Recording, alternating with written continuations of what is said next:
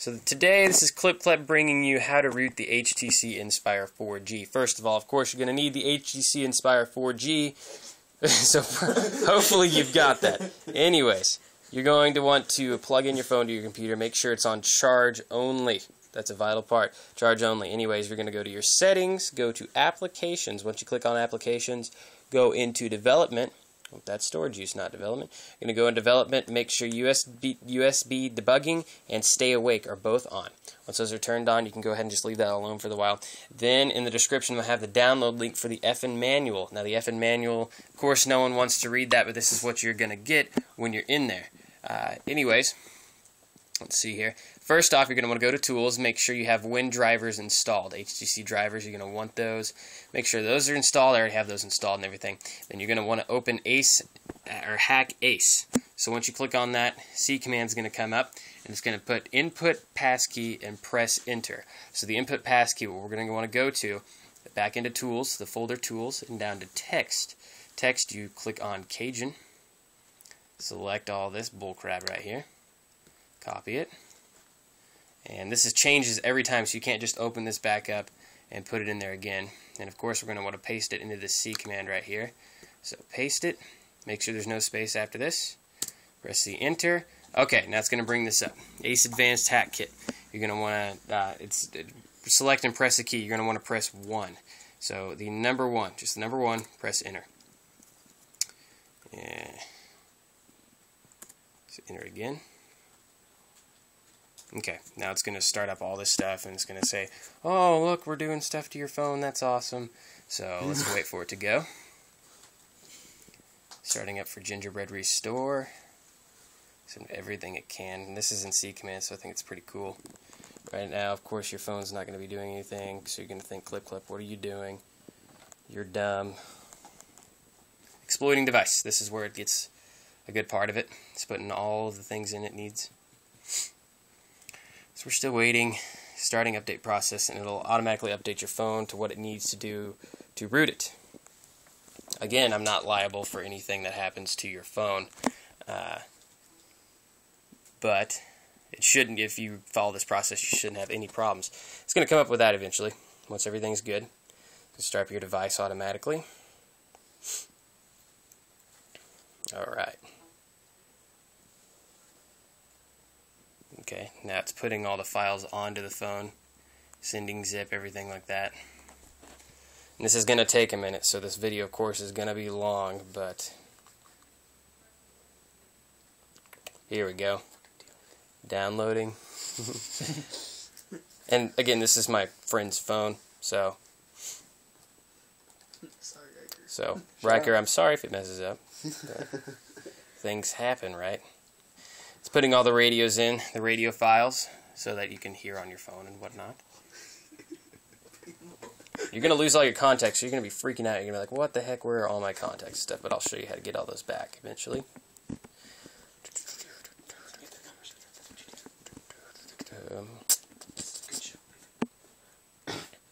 and again, this is going to take just a little while. but just let it do its thing. Do not interfere with it at all. Because if you interfere with it, you're going to crap up your phone. Just saying. Installs an, it's it's going to install a lot of radios in it, so.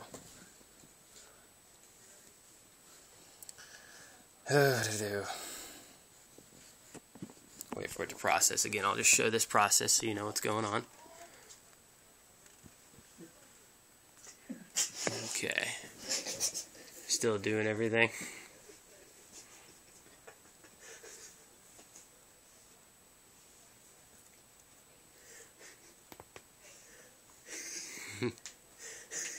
Sorry, this is taking a while, guys.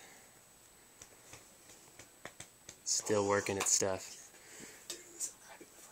I'm going to go ahead and show you how to install all of your uh, contacts back and everything, how to get everything up. Okay, starting next process. Again, like it's saying, please be patient. But you know, that whole deal.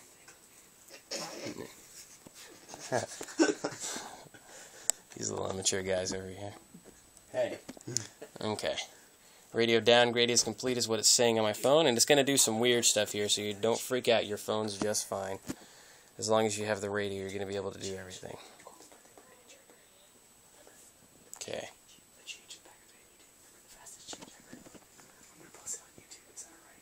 Okay. Again, it tries to be funny, saying major abracadabra going on. Please be patient. Still doing it. By the way, this is for Android version 2.3.3. That's the this is for AT&T, of course. That's the version of Gingerbread you're getting. So we wouldn't we will not be getting ice cream sandwich. So uh, since that didn't happen, you can download a custom ROM and everything, and uh, that's what it'll do to get ice cream sandwich on there. And of course, we don't have front-facing camera, so we can't get front-facing uh, unlocking screens, which kind of sucks. But at the same time, who cares, right? Okay, it's resetting itself.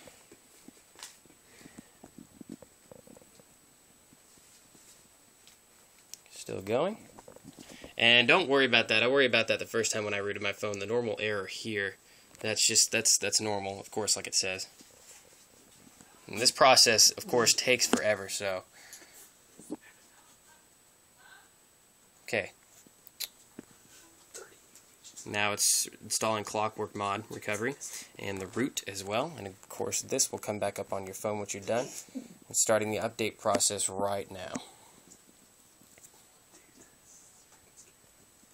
So, takes forever. I'll just leave it on this screen to show you what it's doing, so you'll know what to expect.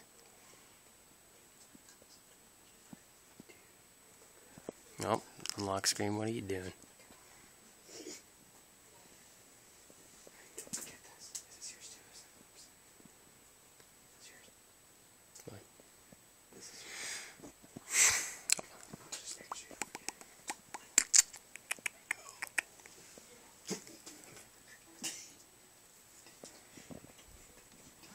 Total time 156 seconds. Too freaking long if you ask me, but hey, it's all worth it.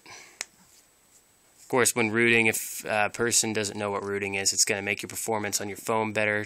You know, uh, if you want it to, it's all going to also going to save battery life. We'll show you how to uh, put on SetCPU, all that stuff, all the good stuff that you can need for normal rooting. Uh, okay, process complete. All right, press any key, continue. It's going to exit you out of there. Okay, now that we're off of that part. Rest is from the phone. So, if you'll hold this for me, I can show what to do. Okay. Rethink possible my ass. Recalculating of course, I hate AT&T, so who doesn't, right? Still resetting everything. And you could just go ahead and exit out of this whole Ace hack kit, everything. You're not going to need this now. Your, your phone successfully rooted after this point. So, of course, it's going to take a minute just to reboot itself. Reboot, come on. I'm rethinking possible right now. okay, yeah, we just saw that. These phones are very complicated. Of course, Android is, is you know, is um, Google. So, okay, it's going to look normal when you unlock it and everything. Uh, here. Whoop. Secret code. Probably need to get this. There we go. Okay, choose a connection type. Done. And it's going to go into all this stuff. It's going to it's going to be quite weird for a minute.